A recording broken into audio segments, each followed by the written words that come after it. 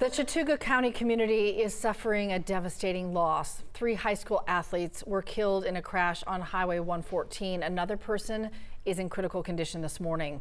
This crash happened just after 12:30 a.m. Sunday. Troopers say a vehicle with five people inside lost control and flipped. They've not released any names of the victims yet because they're still trying to reach out to all the families involved.